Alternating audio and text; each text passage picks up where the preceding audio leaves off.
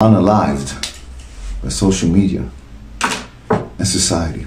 So, uh, if you don't want to be cancelled, always do what you believe in, really. Even if the society will cancel you, the only person not supposed to cancel is yourself. If you cancel yourself, you believe in your own cancellation and you're done. Because remember that many, many very famous people who became famous posthumously were cancelled by society. Vincent van Gogh, Rembrandt, and I can go on, the list is long.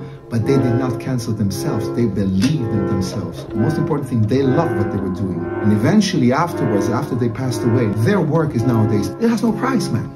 Always believe in yourself. It's the most important thing in life. To believe in your own love, you have to believe in your own goodness and you have to believe in your own talents. Even if it's this small, even if it's dissed by everybody. If you know it's good, pursue it. Don't ever give up because you give up on your own existence then. To 70, you look back in your life and you think, what have I done? I did not follow my heart. And if you're like this at 70, you feel lost. Like in this country, Germany, people followed Nazism and eventually they just cried, why was I a Nazi? What a waste of life. What a waste of time. You why? Because you canceled yourself. You just followed, you were a tool. You were used because the tool has no soul. We just use it when we need it and when we're done. Throw it to the side. It's done with. We don't need it anymore. It's old. And people are scared of being cancelled because it won't be worth something. They'll have no friends. They'll have nothing. But it's not true. You're canceling your soul. If you cancel your soul, you're canceling half of your existence. Cancel half of your existence. You're a tool. And they have no reason for life. They just wake up in the morning and live by eating, by going to a bar and having their coffee, whatever, and then going back home and nothing. Eventually everybody becomes old. If you're lucky, you become old because if you don't, you're dead.